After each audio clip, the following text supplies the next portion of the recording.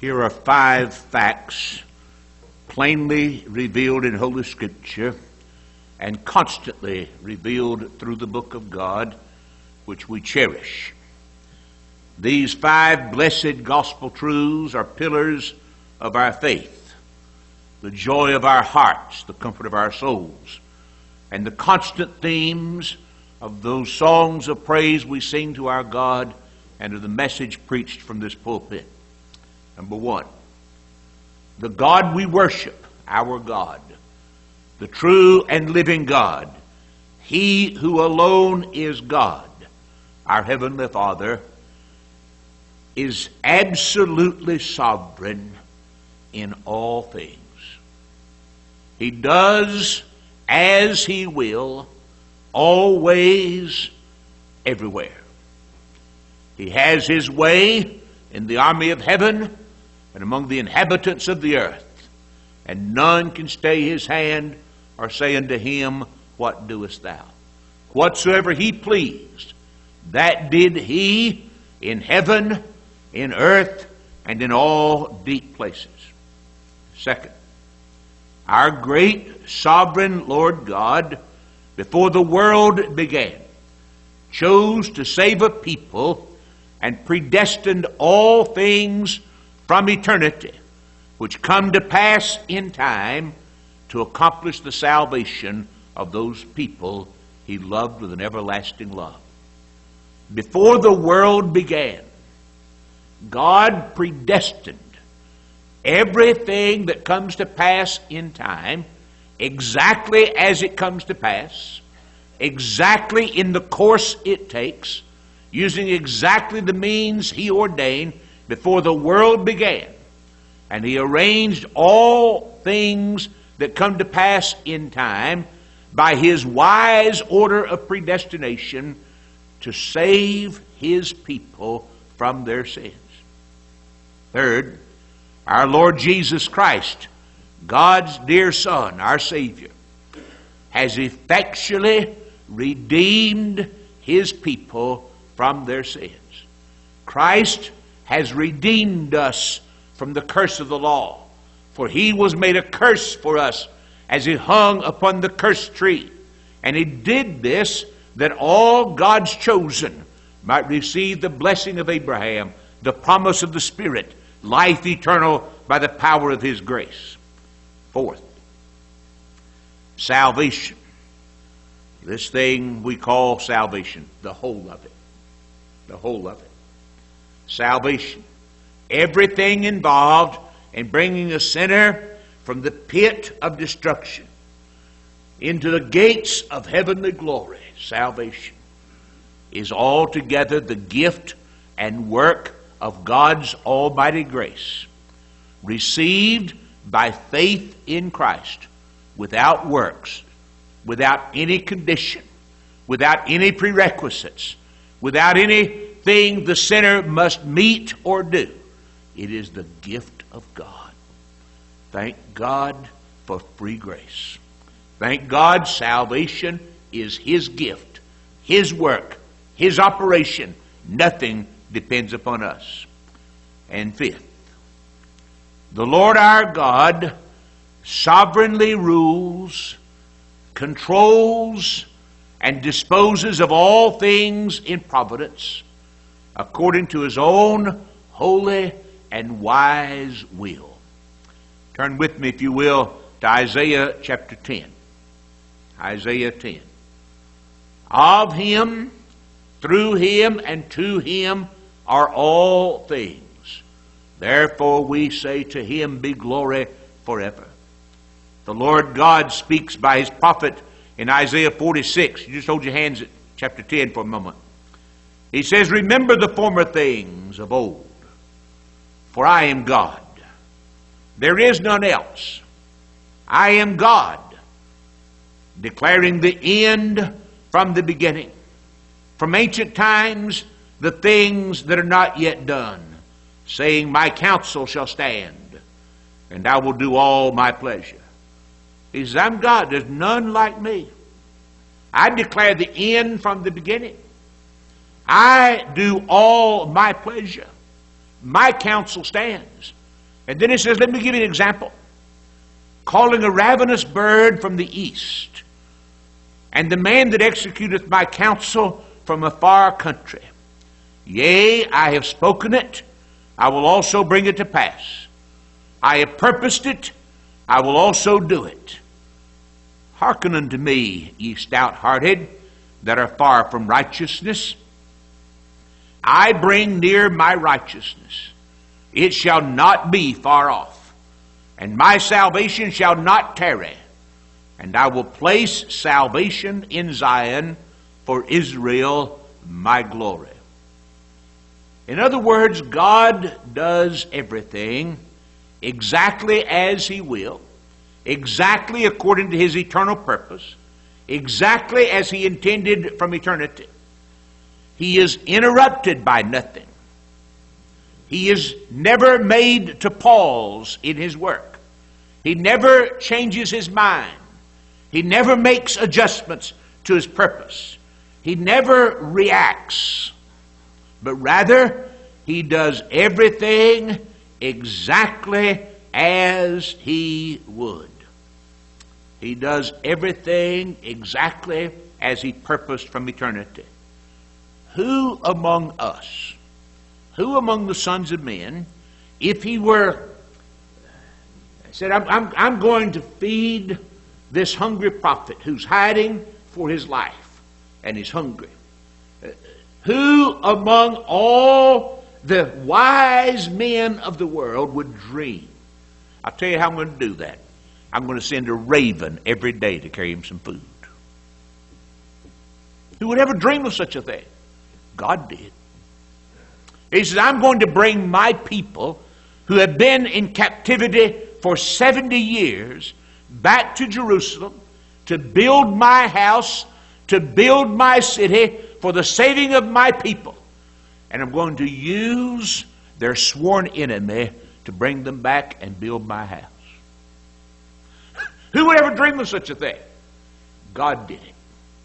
He who is our God is absolutely sovereign. Who among us would ever choose to use evil to accomplish good and choose the evil as the absolutely best way to accomplish the best good? Who? God does. Surely the wrath of man will praise thee, and the remainder of wrath wilt thou restrain. I love Cowper's hymn. I give it to you once more and hope you learn to rejoice in its message. God moves in a mysterious way, his wonders to perform. He plants his footsteps in the sea and rides upon the storm. Deep in unfathomable minds of never failing skill. He treasures up his bright designs and works his sovereign will. Ye fearful saints, fresh courage take. The clouds you so much dread are big with mercy and shall break in blessing on your head. His purposes will ripen fast unfolding every hour. Yes, the bud may have a bitter taste, but sweet will be the flower. How I proved it. How I proved it. Why can't I believe just a little bit what I know is so? Judge not the Lord by feeble sense, but trust Him for His grace. Behind the frowning providence, he hides a smiling face. Blind unbelief is sure to err and scan his work in vain. God is his own interpreter, and he will make it plain. As God the Holy Ghost enables me, I want to talk to you for a little bit about the providence of God. The title of my message is Understanding Divine Providence. Understanding Divine Providence. I don't mean by that that we can understand the intricacies of God's purpose. We understand those things only as God reveals them and we experience them. But we can, if we read this book and are taught of God, we can understand the ways of God in providence, the secret, mysterious, wise, good, sovereign way of God in providence. God the Holy Ghost here in Isaiah 10 gives us an example of God's wise, adorable providence. In this chapter, the Lord God, speaking by his prophet Isaiah, told his chosen people that he would use their Assyrian tormentors, their Assyrian tormentors, those people who despised them. He said, I will use the Assyrians to save my people. And as God used Assyria, both to purge his church and cause his elect remnant in Israel to seek him, so the Lord God uses all the events of time for the spiritual, eternal good of his elect. As we read this chapter, we're again reminded of the blessed fact that God the Holy Ghost, in all ages, in all times, in all circumstance, is carrying on his preparatory work in the hearts of chosen, redeemed sinners. In his marvelous, prevenient grace, that is the grace that goes before and lays the foundation for his operations of grace in us. The Lord God uses the events of providence in our lives to plead with chosen, redeemed sinners on account of their sin and uses those things to hedge about those chosen, redeemed sinners. Sweetly, omnipotently, irresistibly forcing them to the Savior. Read the second chapter of Hosea and see how God does it. He said, I will allure you into the wilderness. I'll take away your oil and your wine and your wool and your flax. I'll strip you naked before me, and then I'll speak to you. Read the 107th Psalm and see how God hedges about his elect, graciously, irresistibly forcing the sinner he loves into the arms of his Savior. At the time of Isaiah's ministry, Assyria was the greatest economic, political, and military power in the world. Every nation in that part of the world had been, or in time would be, brought in subjection to the will of the Assyrian Empire. In the eyes of the world, Assyria was an uncontrollable power, a power that had to be obeyed. No one dared stir up the wrath of the Assyrians. No one but a solitary, isolated prophet who believed God. No one, no one dared speak evil of the Assyrians. Isaiah recognized that Assyria was nothing but a tool in the hands of God. A tool by which the Almighty would sovereignly accomplish His eternal purpose. A nation He would destroy when He had finished using the tool. Isaiah, you see, didn't see himself living in a world in which men and nations run rampant to accomplish their own pleasure, with powerful triumphing over the weak the ungodly triumphing over the godly. But rather, Isaiah saw himself as a man living in a world with a sovereign God at the helm of every nation, on the throne of the universe, controlling the thoughts, words, and deeds of every man universally, making even the wicked to serve his purpose. Oh, God, make me so to live in this world in this 10th chapter of his prophecy, Isaiah, writing by inspiration of God the Holy Ghost, teaches us five lessons. Let's look at them together. First, verses 1 through 4. Here we learn that the judgments of God, which fall upon individuals and nations in His providence, are always fully deserved. I'm not pausing to wait for something to say. I'm pausing for you to hear what I say. The judgments of God that fall upon individuals and nations, the judgments of God that fall upon entire generations, are judgments fully deserved by reason of sin. Verse 1 Woe unto them that decree unrighteous decrees, and that write grievousness which they have prescribed. That's a pretty good description of the entirety of Western civilization in this day.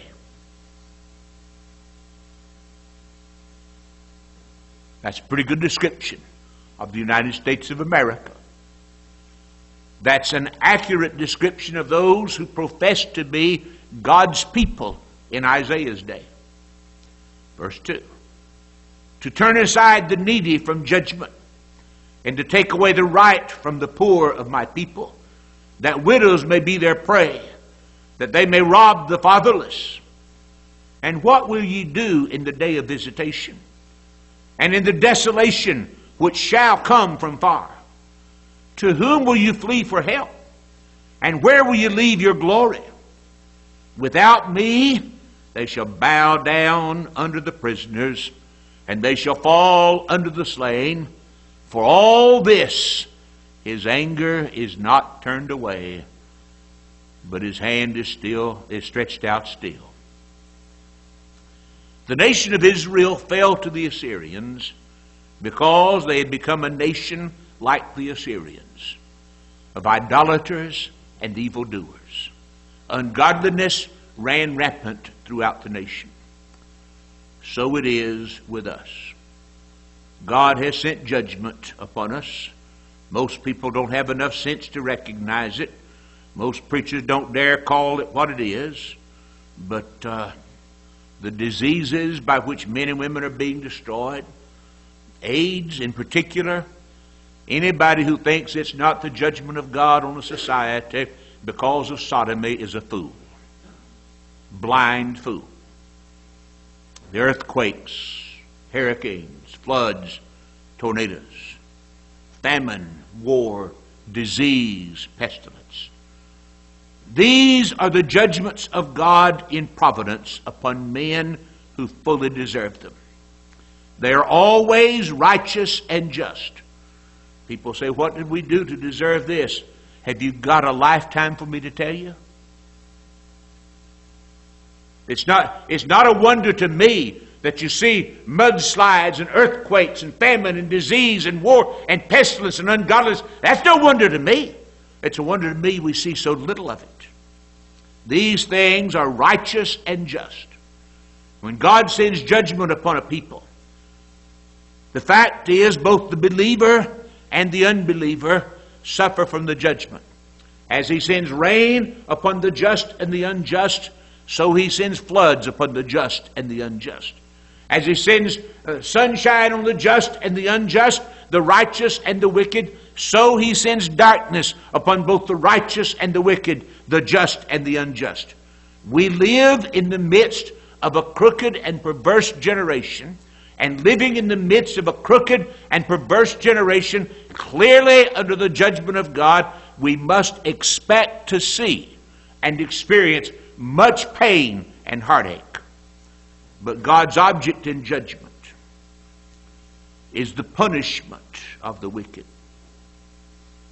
and the preservation of the elect, teaching his own in the midst of great adversity to lean heavily upon the arm of Christ.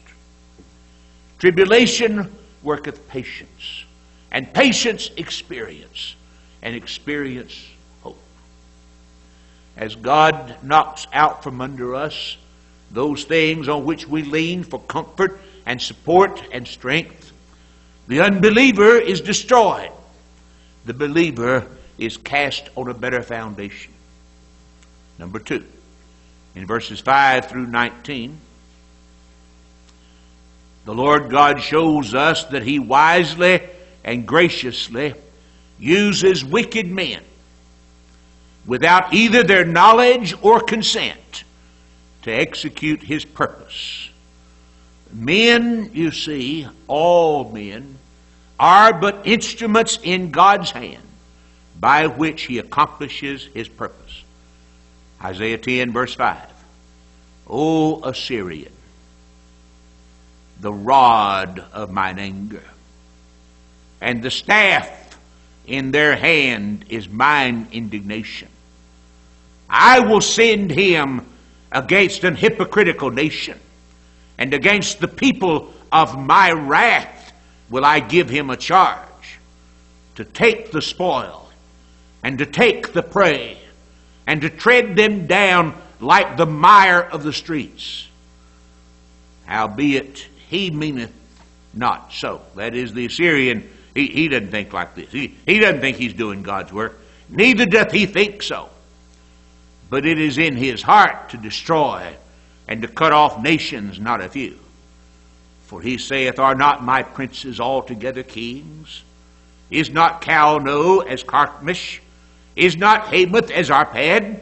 Is not Samaria as Damascus? As my hand hath found the kingdoms of the idols, and whose graven images did excel them of Jerusalem and Samaria. Shall not I, as I have done unto Samaria and her idols, so do to Jerusalem and her idols?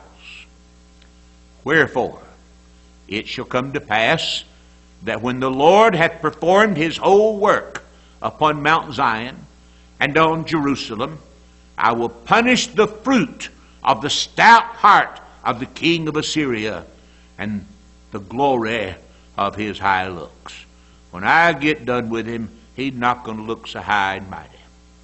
When I get done with him, nobody's going to wonder who's in charge. Verse 13 For he saith, By the strength of my hand I've done it, and by my wisdom, for I am prudent. And I have removed the bounds of the people, and have robbed their treasures, and have put down the inhabitants like a valiant man. And my hand hath found as a nest the riches of the people. And as one gathereth eggs that are left, have I gathered all the earth, and there was none that moved the wing, or opened the mouth, or peeped. That is, I gathered all the eggs, and the hens didn't even move.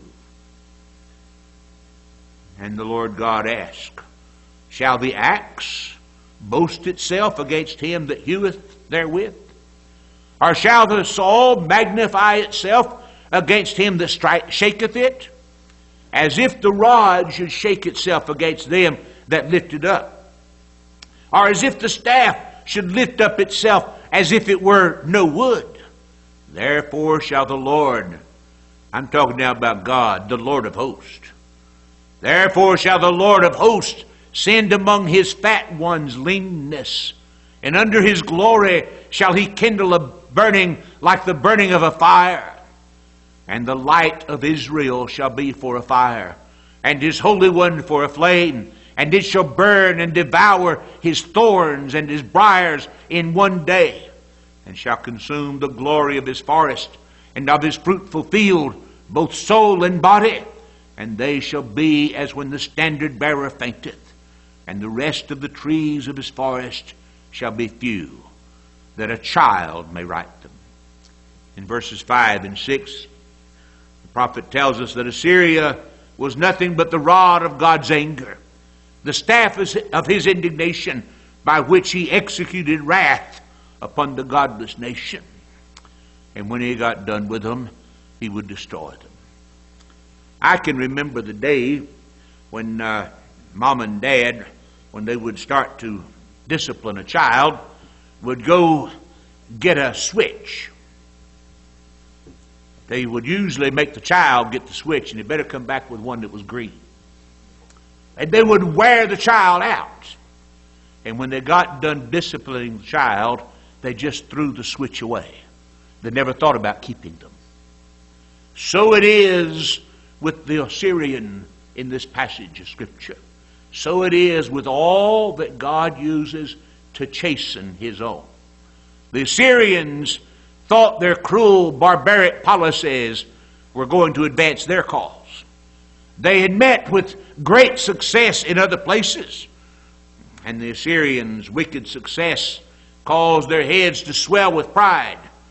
But God says, When I've accomplished my purpose with Assyria for my people Israel, I will throw them away like a piece of garbage. Look at verses 16 and 17. There's something right in the middle of this passage that ought to be thrilling to our souls. Therefore shall the Lord, the Lord of hosts, send among the fat ones, his fat ones, leanness. And under his glory he shall kindle a burning like the burning of a fire. And the light of Israel, the light of Israel shall be for a fire. And his Holy One, the Holy One and the light of Israel are the same person for a flame. And it shall burn and devour his thorns and his briars in one day. We read about our Lord Jesus, the light of Israel, the fire of God, his Holy One. We read about him in, in Zechariah chapter 3, described in exactly the same way.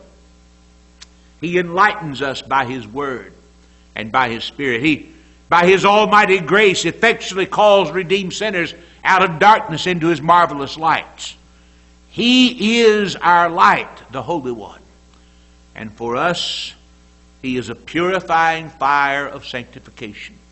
In one day, in one day, He took away the briars and thorns of the curse because He took away our sins when He died at Calvary. And then in one day, He comes in grace to chosen redeemed sinners in the sanctifying power of His Spirit and removes from us the briars and thorns of our curse by reason of sin, declaring to us that our sins are put away, purging our consciences from dead works to serve the living God. Understand the prophet's message here and rejoice. God, who is sovereign over all history, is sovereignly working his will in all the events of history. God, who is sovereign over all history, is sovereignly working his will through all the events of history. We must never judge God's goodness by the light of his providence, but rather let us judge his providence by the light of his goodness. Turn back to Psalm 92. Let me give you one example as David sings this great, great psalm of praise to our God. Psalm 92. We'll pick up in verse 5. O Lord, how great are thy works, and thy thoughts are very deep. A brutish man, the ungodly, the unbeliever, doesn't matter whether he graduated from Harvard, Princeton, or Yale, knoweth not, neither doth the fool understand this when the wicked spring as the grass, and when all the workers of iniquity do flourish. There's a reason behind that. It is that they shall be destroyed forever.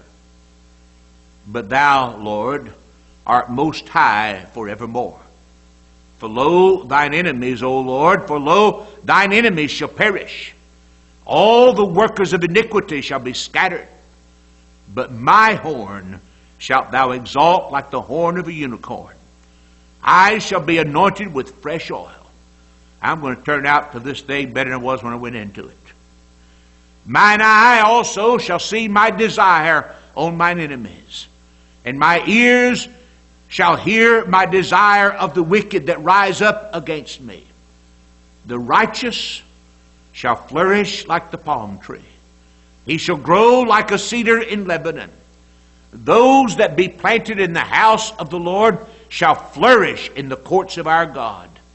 They shall still bring forth fruit in old age. They shall be fat and flourishing, to show that the Lord is upright. He is my rock, and there is no unrighteousness in him. All right, back here in Isaiah 10. Look at verses 20 through 23. Here's the third thing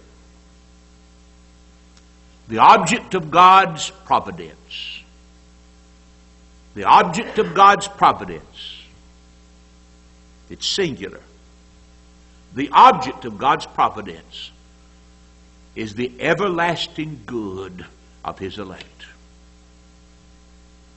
The object of God's providence is the everlasting good of His elect. I said back in the office to the men, when I was a young man, I used to be away from home a good bit, and uh, Shelby and I were first married. We lived on the south side of Winston-Salem, and I'd go different places to preach. A lot of times she had to stay at home, and I'd come home. And from Mount Airy, North Carolina, to where we lived in Winston-Salem, it was 36 miles. It didn't matter whether I'd driven 200 miles or 1,000 miles. When I got south of Mount Airy, that 36 miles seemed like the longest piece of road you could drive. I was going home. And I couldn't get home quick enough. And as we are making our pilgrimage through this world, children of God, we're going home. And the closer we get to home, the longer the road seems. Understand this all along the way. Understand this. God help you to understand this all along the way. No matter what bumps we meet with in the road, no matter what obstacles, no matter how Satan may roar, no matter how men may oppose, no matter what ungodliness we may see and experience by the hand of God's providence from wicked men and wicked governments the object of God's providence is the everlasting good of His elect. Let's see if that's not what He says in verse 20. And it shall come to pass in that day that the remnant of Israel, and such as are escaped to the house of Jacob, shall no more again stay upon him that smote them. They'll quit trusting the Assyrian, but shall stay upon the Lord the Holy One of Israel in truth. Oh my God, take from me everything in which I trust but you. And let me learn to trust you alone.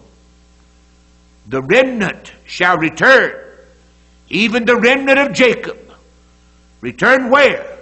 Unto the mighty God. For though thy people Israel be as the sand of the sea, yet a remnant of them shall return. The, con- the consumption is decreed. The consumption decreed shall overflow. What? The consumption shall overflow with righteousness. For the Lord God of hosts shall make a consumption even determined in the midst of all the land. In every age there is a remnant according to the election of grace who must and shall be saved. It was true in Isaiah's day and is true in our day. And everything God does, directly and indirectly, everything God does that's obvious, outward, and open, and everything God does that's secret and hidden, Everything that's plainly revealed and those things that are not revealed. Everything is worked by God for the saving of His elect. Why does God send His church through trials and troubles, difficulties of providence, through times of judgment? Why? Why does God deal with His people like He does in this world? He sent the Assyrians to invade and conquer Judah. The church of God in this world has lived through ages of persecution. Peoples all over the world are ruled by communists, ruled by dictators who are mean, barbaric, and cruel, ruled by religious darkness. We see civil strife constant in our streets. It gets worse all the time. Rampant ungodliness. Who could ever imagine? We, when, when I was a boy, when you were boys and girls, you, you couldn't even imagine. You, you couldn't even imagine someone speaking in public about things that you read about, children talk about every day. You, you couldn't even imagine folks talking about it in public. Why? Why? He does these things for the purging of his church. They are not all Israel which are of Israel. By these things he separates the precious from the vile, the sheep from the goats, and the wheat from the tares. He does the things he does for the spiritual maturity of his saints, to teach us to lean upon Christ, and for the salvation of his elect, that he might gather his elect from afar. Number four. Look at verses 24 through 26. God's saints in this world, even in the most troublesome times, have no cause for alarm or fear.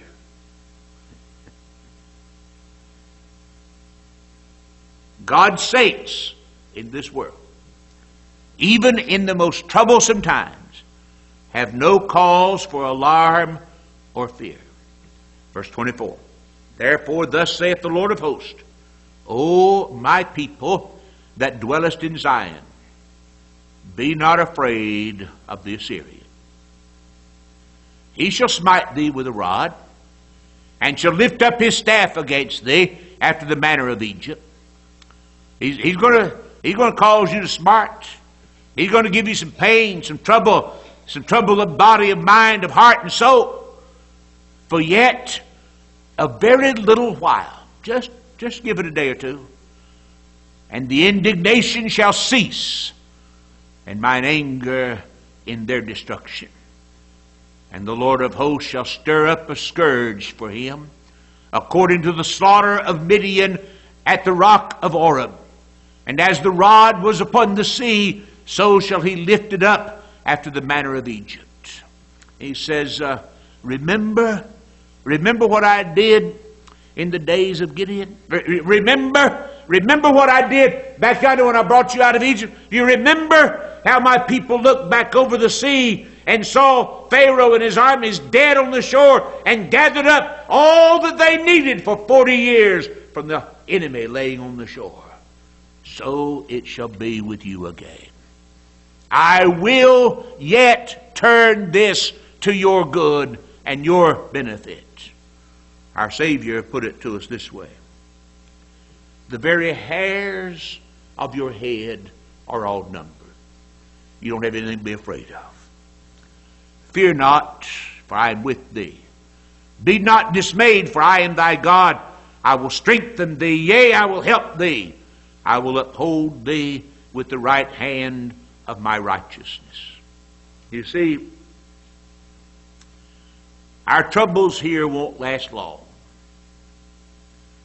Our light affliction, which is but for a moment, worketh for us a far more exceeding and eternal weight of glory. And the Lord God our Savior will deliver us just as He always has delivered His people at the appointed time when it is most beneficial for us. One last thing, verses 27 through 34. In the end, God will destroy all his enemies and ours and save his people by his almighty grace. And it shall come to pass in that day that his burden shall be taken away from off thy shoulder that Assyrian rod feels real heavy. That heartache is so hard to bear. That trouble so difficult to endure. And it's going to come to pass. I'm going to lift the burden up, take it away. And the yoke shall be destroyed because of what? Because of what? Because of the anointing. Because you're mine. Because you're Christ. because you've been called by God and made His, born again by His Spirit. He is come to Aiath. He is passed to Migron. At Michmash he hath laid up his carriages. They are gone over the passage. They have taken up their lodging in Geba. Ramah is afraid. Gibeah of Saul is fled. Lift up thy voice, O daughter of Gallim. Cause it to be heard unto Laish. O poor Anathoth. Madmenah is removed. The inhabitants of Gebim gather themselves to flee. As yet he shall remain at Nob that day.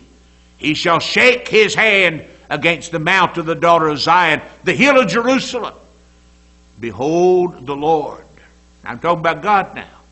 I'm not talking about some peanut. I'm not talking about somebody. I'm talking about God. Behold, the Lord of hosts, God who controls everything and everybody, shall lock the bow with terror, and the high ones of stature shall be hewn down, and the haughty shall be humbled.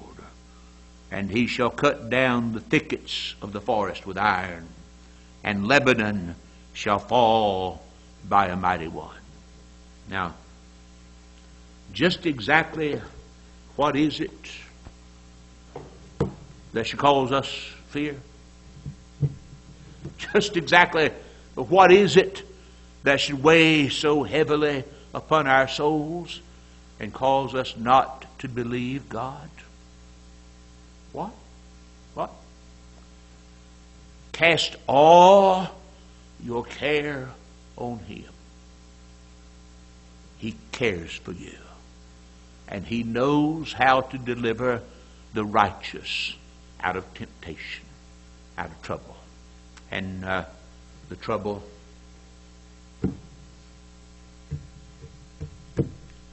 the trouble, whatever it is, oh, bless God, whatever it is, will soon be over.